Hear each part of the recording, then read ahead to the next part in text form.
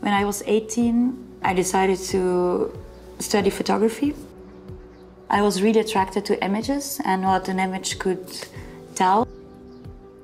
I think the first big project that I was really happy about was uh, my project I did in Russia.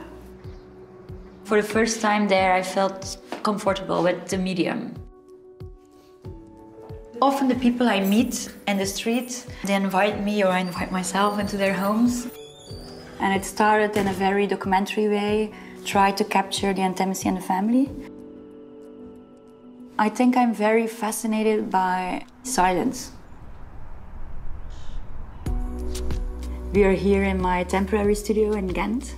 It's an empty house right now and it's waiting to be rebuilt.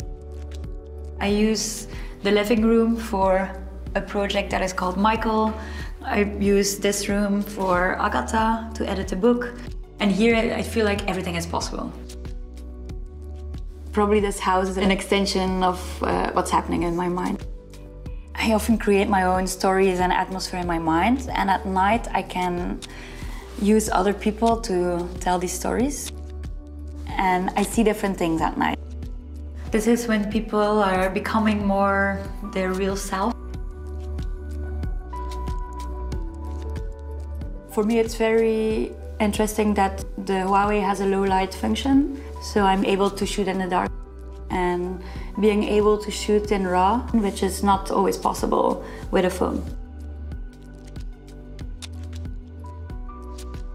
I often do many projects at the same time and it's quite chaotic. What I'm doing here with Ramon is making a book, actually a few books, of my work I'm doing with Agatha. It's like a long journey we're undertaking and I want to make some books so the audience can also follow what we're doing. But if it's this, maybe... For me, the medium of a book is important. It's like a one-on-one -on -one relationship the viewer has with the photos. People sometimes recognize themselves in my work, especially with Agatha. The doubts she has about life and the search she's undertaken. It can be this kind of thing. It's great working yeah. with Ramon because he's a um, very good graphic designer and I mean it's really important to have this outside view. Yeah, I think. For me, it's important to take like pictures in between of the process, and of course also as a memory of uh, what we're doing here. Sometimes it's good to share, otherwise you're never able to take distance of your work. The pictures I'm taking now, it's an ongoing project I'm doing. We look for her and for myself through my photos. Yeah, yeah, this one, this one.